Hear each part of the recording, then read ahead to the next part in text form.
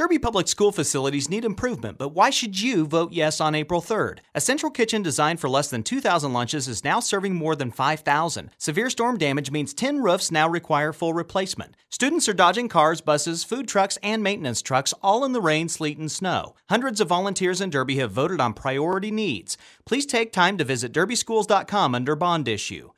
Thank you for taking time to learn more. Then join us in supporting our students, our schools, and our future by voting yes on April 3rd.